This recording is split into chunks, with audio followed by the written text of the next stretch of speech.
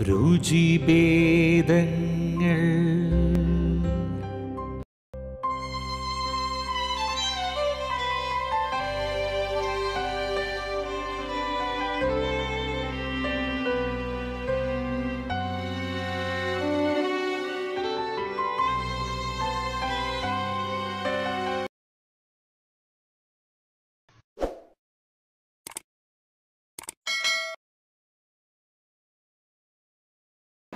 Hi friends എല്ലാവർക്കും രുചിഭേദങ്ങളിലേക്ക് സ്വാഗതം. ഇന്നത്തെ വീഡിയോയിൽ നമ്മൾ കാണാൻ പോണത് ചോറ് കൊണ്ട് നമുക്ക് ചോറിന് നല്ലൊരു സൈഡ് ഡിഷാണ് ഉണ്ടാക്കാൻ പോണത്. ഇതിന്റെ പേര് ചോറ്റുമുട്ട എന്നാണ്. ഞങ്ങളുടെ പാലക്കാട് ഭാഗത്ത് പണ്ടുകാലം മുതലേ ഉണ്ടാക്കി വരുന്ന ഒരു ഡിഷാണത് ചോറ്റുമുട്ട എന്ന് കേൾക്കണ സമയത്ത് നിങ്ങൾ വിചാരിക്കും ഇതിൽ മുട്ട ചേർക്കുമോന്ന് മുട്ട ചേർക്കില്ല. ഈ ചോറ്റുമുട്ട നല്ല ടേസ്റ്റിയാണ് കഴിക്കാനായിട്ട് കുട്ടികളുടെയൊക്കെ ഫേവറേറ്റ് ആണ് കുട്ടികളുടെ മാത്രമല്ല കേട്ടോ വലിയവർക്കും ഇത് ഇഷ്ടമാകും നിങ്ങൾ ഒരു പ്രാവശ്യം അത് ഉണ്ടാക്കി നോക്കണം. നിങ്ങൾക്ക് ഒരു നേരം ഉപ്പേരിയൊന്നും ഇല്ലെങ്കിൽ കൂടെ നമുക്ക് കൂട്ടാൻ വെച്ച് ഈ ചോറ്റുമുട്ട വെച്ച് നമുക്ക് സുഖമായിട്ട് കഴിക്കാം. അപ്പോൾ നമുക്ക് പെട്ടെന്ന് തന്നെ എങ്ങനെ ഉണ്ടാക്കുക നോക്കാം. രണ്ട് കപ്പ് ചോറ് എടുത്തിട്ടുണ്ട്.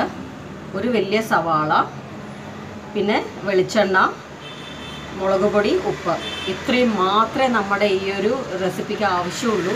എക്സ്ട്രാ ആയിട്ട് ഒന്നും നമുക്കിതിൽ ചേർക്കേണ്ട ആവശ്യമില്ല. ഇനി ഒരു മിക്സിയുടെ ജാർ എടുക്കുക. അതിലേക്ക് നമ്മുടെ സവാള ഇടുക. ഞാൻ ഈ വലിപ്പത്തിലുള്ള ഒരു സവാളയാട്ടോ എടുത്തിരിക്കണേ. നിങ്ങളുടെ സവാള ചെറുതാണെങ്കിൽ രണ്ടെണ്ണം ഇട്ടുള്ളൂ പിന്നെ ഞാൻ ഇന്ന് ചേർക്കുന്നത് ഒരു ടേബിൾ സ്പൂൺ മുളക് പൊടിയാണ്. ഇതിൽ ഞാൻ കാശ്മീരി മുളക് പൊടിയും ചേർത്തിട്ടുണ്ട്. നമ്മുടെ സാധാരണ എരിവിനുള്ള മുളക് പൊടിയും ചേർത്തിട്ടുണ്ട്. കളറ് കിട്ടാനായിട്ടാണ് ഞാൻ ഈ കാശ്മീരി മുളക് പൊടി ചേർത്തത്. ഇല്ലെങ്കിൽ നമ്മുടെ സാധാരണ മുളക് പൊടി ചേർത്താലും മതി. പിന്നെ ചോറിനനുസരിച്ചുള്ള ഉപ്പ്. ആദ്യം കുറച്ചിടാം. പിന്നെ പോരെങ്കിൽ കുറച്ചുകൂടെ ആഡ് ചെയ്യാം. ഇതെല്ലാം കൂടെ ഒന്ന് നന്നായിട്ട് അരച്ചെടുത്തിട്ട് വരാം.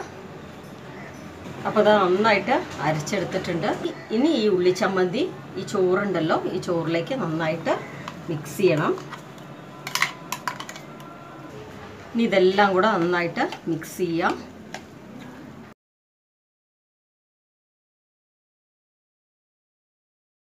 ഞാനൊരു നോൺ സ്റ്റിക്ക് പാന് സ്റ്റൗവിൽ വെച്ചിട്ടുണ്ട്. ഇതിലേക്ക് വെളിച്ചെണ്ണ ഒഴിച്ചു കൊടുക്കാം. ഇപ്പം ഞാൻ ഒഴിച്ചിരിക്കുന്നത് ഒരു ടേബിൾ സ്പൂണാണ് ഇതൊട്ടും പോരാ. കുറച്ചുകൂടെ കഴിയുമ്പോൾ നമുക്ക് കുറച്ച് കുറച്ചായിട്ട് രണ്ടോ മൂന്നോ ടേബിൾ സ്പൂൺ ആവശ്യമായിട്ട് വരും. അപ്പോൾ എണ്ണ നന്നായിട്ട് ചൂടായിട്ടുണ്ട്. ഇനി നമുക്ക് നമ്മൾ മിക്സ് ചെയ്ത് വെച്ച ചോറിന്റെ കൂട്ടുണ്ടല്ലോ അത് ഇതിലേക്ക് ഇടാം.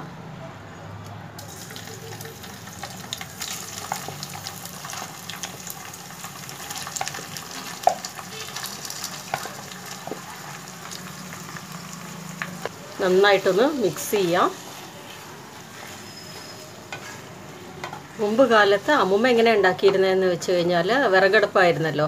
ആ സമയത്ത് എല്ലാ കുക്കിങ്ങും കഴിഞ്ഞ ശേഷം കനലടുപ്പിൽ ഇരുമ്പ് ചീഞ്ചട്ടിയിൽ ഇതുപോലെ ആക്കിയിടും. എന്നിട്ട് ഇടയ്ക്കിടയ്ക്ക് ഇളക്കി കൊടുക്കും. അങ്ങനെ നന്നായിട്ട് മുരിയിച്ചെടുക്കാറാണ് പതിവ്. ഇപ്പോൾ പിന്നെ നമുക്ക് നോൺ സ്റ്റിക്ക് പാൻ ഉപയോഗിക്കുകയാണ് ഇതിന് ഏറ്റവും നല്ലത്. അല്ലെങ്കിൽ നമ്മൾ ബാക്കി സ്റ്റീലിന്റെയൊക്കെ ആണെങ്കിൽ ഒട്ടിപ്പിടിക്കാനുള്ള ചാൻസസ് ഉണ്ട്. അപ്പോൾ ഇനി ഇത് നന്നായിട്ട് ഒരു ഭാഗം ആയിക്കോട്ടെ. അതിന് ശേഷം നമുക്ക് തിരിച്ചിടാം. ഇത് അടച്ചു വെച്ചിട്ട് വേണം കുക്ക് ചെയ്യാനായിട്ട്. സിമ്മിൽ വേണം ഇടാനായിട്ട് അല്ലെങ്കിൽ ചോറ് പെട്ടെന്ന് കരിഞ്ഞു പോവും. ഒരു ഭാഗത്ത് നന്നായിട്ടൊന്ന് മൊരിഞ്ഞ് വരാൻ തുടങ്ങിയിട്ടുണ്ട്. ഇടയ്ക്കിടയ്ക്ക് ഇങ്ങനെ മിക്സ് ചെയ്ത് കൊടുത്താൽ മതി. അപ്പം എല്ലായിടത്തും ഒരുപോലെ മൊരിഞ്ഞു വരും.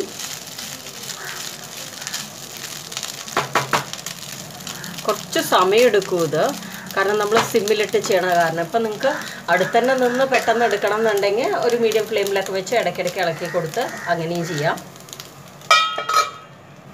അപ്പോൾ നമ്മുടെ ചോറ്റുപുട്ട എന്തായി അവസ്ഥ നോക്കാം.